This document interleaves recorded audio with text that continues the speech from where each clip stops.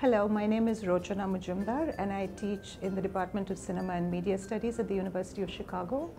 Uh, I received uh, an award of distinction for the Kovács Essay Award that appeared in a, in a, in a, in a journal for the year 2016-17. Uh, the essay is called um, Art Cinema, the Indian Career of a Global Category.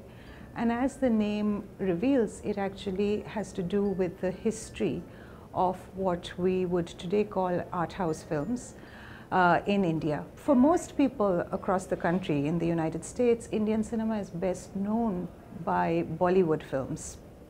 My project actually tries to remind uh, both film scholars as well as the wider audience that there was actually another body of work as rich, as complex, films that I call uh, art films, that, that were fellow travelers of films that we, we know as, as Bollywood today.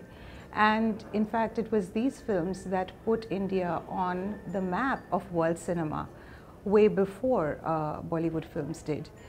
My project is not so much about a competition between this body of films and Bollywood, but rather a conversation.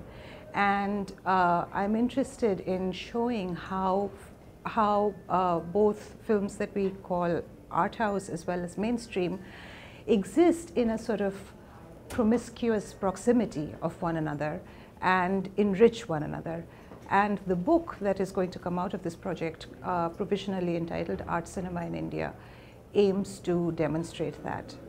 Uh, the award, needless to say, means a lot to me. It is validation that, uh, that the work speaks to an audience of film scholars and uh, especially at this stage of the project which I'm in, which is to say I'm midway through the book but not fully done, uh, it means the world to, to know that the work is of interest. Thank you to the Society of Cinema and Media Studies as well as my colleagues in the Department of Cinema and Media Studies at the University of Chicago. Oh, the essay appeared in the journal Critical Inquiry and uh, other details about my published work are available on my webpage at the University of Chicago.